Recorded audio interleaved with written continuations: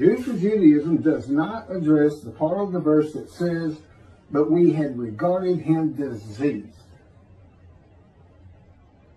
Again, it has to be all Jews at one time. When were the Jews, even by the Gentiles, regarded as diseased? No, sure, you can you can be ugly and say nasty things and say, oh, the Jews is like a disease, but you know, but they haven't been. This is not perceptions. This is not how people think about you. This is a description of a real man, God's representative, his prophet like Moses, that he prophesied in Deuteronomy. And we think the Orthodox knows about him. Now, how, how, how, why is it so difficult? Why, why does everybody got to be saying this? Is it because you're religious? I think so. Well, God chose an atheist, a Gentile. The arid land in verse 2 that's Christianity. He comes from Edom. He comes from a Christian land. And of the Jews, no people are with him. It's so easy to figure out. See, the time is coming, the land blooms again. See, the time is coming, Jerusalem's rebuilt. Then I will make a covenant with you. Okay, covenant is here. How do we know? Well, you got to have a spokesperson, don't you? God does.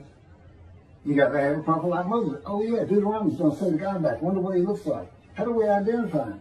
Because I'm not going to believe anybody if I don't have a description. Hey, wait a minute. Here's the description. This is what the sages said. Said Moshiach, the anointed one from chapter 11 will be described here. That's how we find him. But he's here. He's got to be here, and the covenant's here. Let's find him.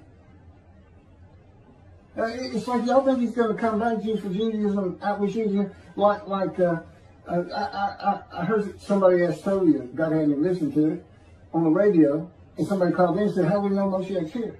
Here's his answer. I'll throw up the window and look out and Torah will be written on every heart. Now you go to Jeremiah. The land blooms again. I, I, don't know how you look at everybody you can see Torah written on heart. I guess everybody's going to synagogue. But you return, I'll return, I will put my sanctuary amongst you. Your all sins forgiven. I know many of you that won't matter a bit. I'm writing a of remembrance for that day. Bring Elijah. He's going to try. He, he's going to. He got the same purposes as the uh, righteous servant. So already, who is he? Well, we got this is this is what's unfulfilled. Four men to come, two prophecies, to, uh, covenants to come.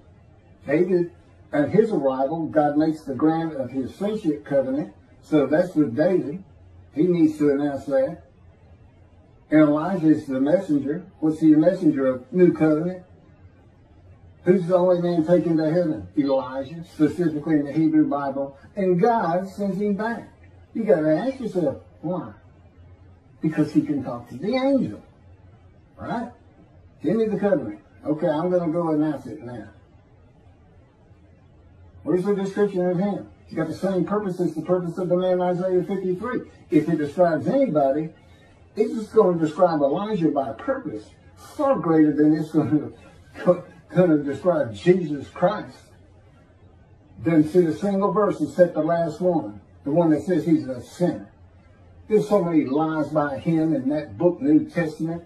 I've got, I've got a video on Doubt me? Go look at it. Go look at what the verses really say. Go look at what happens when Jesus says, all the prophets say of me, I'll ride this ass into Jerusalem and the Gentiles will spit on me, mock me, scourge me, kill me, and I shall rise on the third day. All the prophets, huh? Well, I got 20. In your Old Testament, the Hebrew Bible, not one says that. No one ever says that anywhere, even in biblical scriptures, supposedly, that wasn't canonized. But there is one, Zechariah. I believe it's chapter 9, verses 9 and 10. It's definitely verses 9 and 10. The Messiah will ride an ass into Jerusalem, which just means he's humble. I'm going to go to Jerusalem, and I'm not riding an ass in to fulfill this verse, but I will be humble. God's making sure that as part of this process of being made suitable, where all those big, heinous words are listed, punished and chastisement, treatment, taken from society, taken, cut off from the land of the living is what it says. So was so was Ezekiel. There used to be some conflict in the understanding in, in some of this, and I can straighten it out.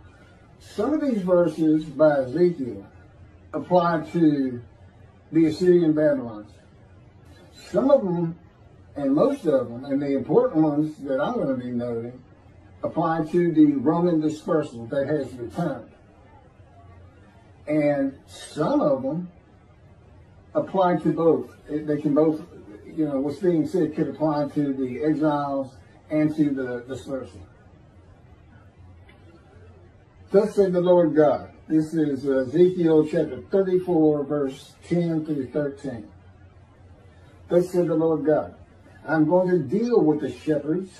I will demand a reckoning of them for my flock, and I will dismiss them from tending the flock. The shepherds shall not tend themselves anymore. For I will rescue my flock from the mouse, and it shall not be their prey. Now remember, this is being written in antiquity. I mean, like that last uh, sentence, I will rescue my flock, this and that, and it shall not be their prey, as though all rabbis today are preying on. Well, that's not true. But what is true is they're dismissed, because this does not apply to the Assyrian Babylonian exiles. It can only apply, it can only apply to the Roman dispersal. For thus said the Lord God, here I am. I'm going to take thought for my flock and I will seek them out. As a shepherd seeks out his flock, when some in his flock have gotten separated, so I will seek out my flock.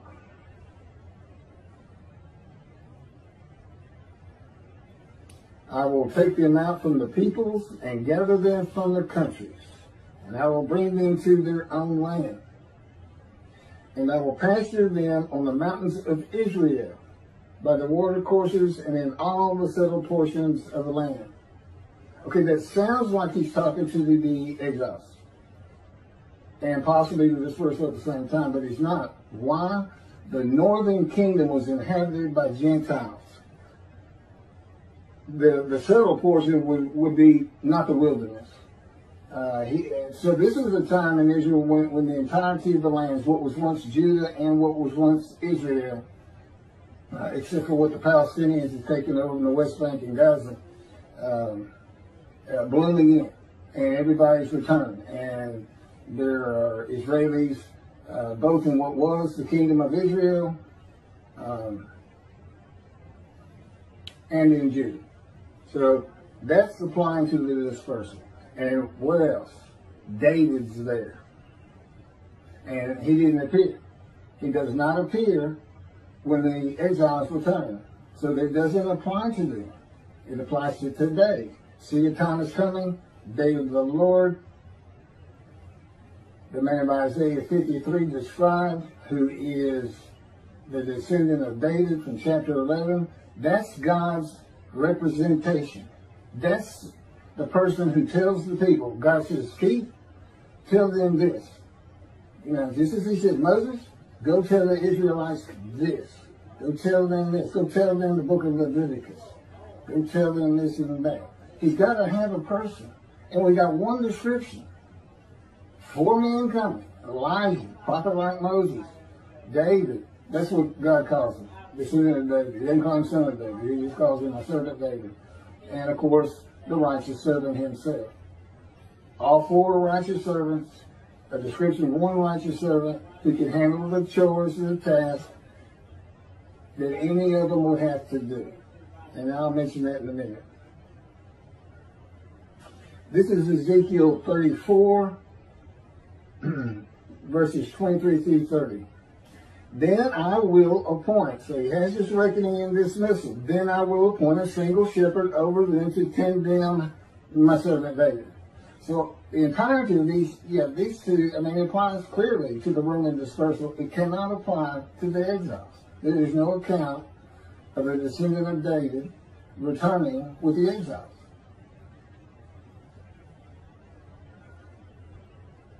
That, that comes up in Zechariah too supposedly the branch was going to come and build the second temple. Well, the branch never shows up. And, and it's, it's clear that the branch is supposedly